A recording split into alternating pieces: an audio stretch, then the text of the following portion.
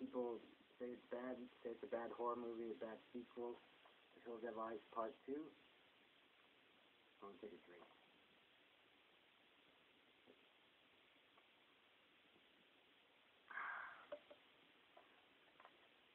I remember seeing it, I think on Showtime, late 80s, and then renting it. And um, I always like the cover. I think the really cool. I think it's even better than part one. Uh, the Reaper looks cool. Pluto, he has like a cooler costume in this one than he does in part one. And uh, like I said, a lot of people say it's bad, but uh, and I, I looked up stuff about it. I heard that, uh, well, I read that, that Craven is like doesn't like this movie. That he admits he did it uh, just for a paycheck. Um, also read that the studio shut down filming, so that's why it has a lot of that's why it has a lot of uh, footage from the first one. But when I when I saw it, I saw this one before I, I saw the Have Eyes Part One. So like uh, I'm pretty sure I knew it was uh, it was from the first one, but I was like, man, what what is all this stuff? I want to see uh, what happened before this one. So it, it just made me more interested in it. Um, I also read that there's a director's cut. I don't know if that's true, but I mean that'd be great if there was. If there was more footage of it.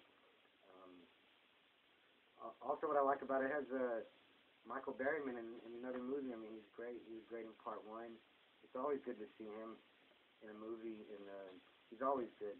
And I thought he was good in this.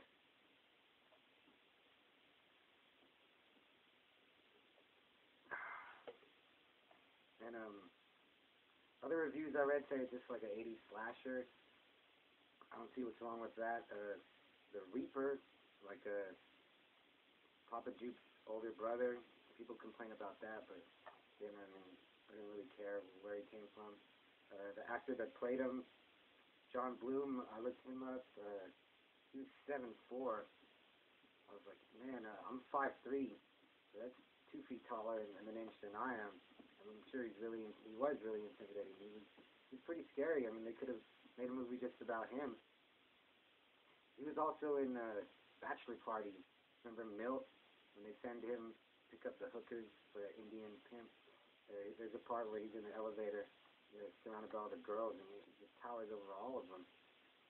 Um, another thing, the the music is done by Harry Manfredini, and he did the music for for Jason and for Friday the Thirteenth.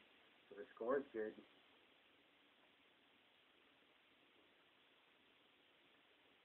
Uh, I watched it again, and I mean, I've seen it so many times. It, um, you know, I'm used to it, so I can see how it, doesn't hold up as well as other movies, um, but it's, it's it's still pretty good. It's, it's a it's a good '80s horror movie. I mean, compared to movies made today or in the '90s, I'd rather watch this than a lot of those movies. Um, so yeah, it's not it's not that gory. At the end, you see like some of the bodies um, the Reaper killed. um, also like how it had Ruby. You see her. Uh, she left the family and and uh, I guess hooked up with, with Bobby, and, and she changed. Uh, yeah, another thing people talk about the flashbacks. The, the dog has a flashback. I, I never really, that never really bothered me. I didn't think that was a big deal. It was kind of funny. Um, the fact that Pluto survived when I mean he pretty much died in the first one, but I'm glad they brought him back.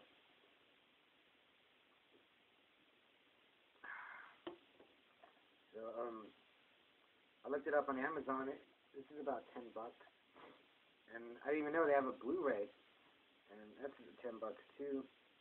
Uh, the cover's different. I really like this one. Uh, I would buy this. Or buy both.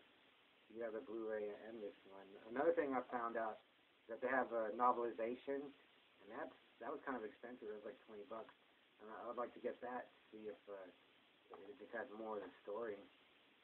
Um, also read that there's a part three. Has anyone ever heard of that? I've never heard anything about a part three.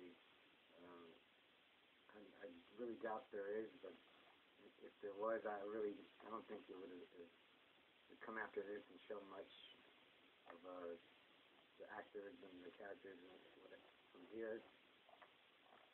Um, but uh, I think it's it's a good movie. Um, I borrowed it from Kyle. I'm in Kyle's closet right now. Maybe do, I can do some more reviews because Kyle's got a lot of good movies too that uh, I can review. And um, I think that's pretty much it. There's a, have a lot to say about about this one, but uh, I like it, and uh, I think it's uh, it's a, it's a good enough sequel. I mean, there's so much they could they could do with The Hills Have Eyes. And yeah, there, there could be a part three and four, and uh, expand on it. Um, but the, the again, the Reaper, he was he was really scary. I think uh, if they would have done another one, it should be about him. And uh, you don't want to dedicate this review to John Bloom because he he's so great. Um, he's in a lot of other movies. He played Frankenstein and uh, like other monsters. Um, he's a, he's a true giant. Oh, excuse me. Um, let me take another drink.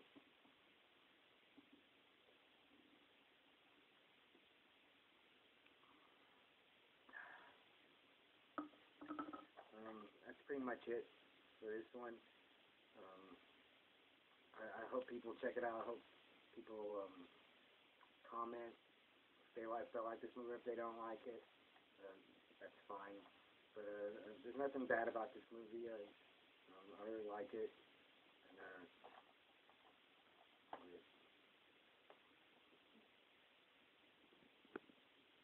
it's a cool picture. And here's the back.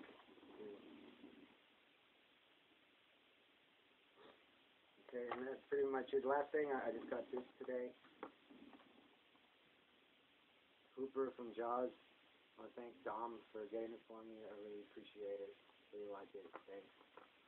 And um, gonna do more reviews, more reviews of uh, just movies that don't get reviewed too much, and uh, and I'm gonna do more book reviews too.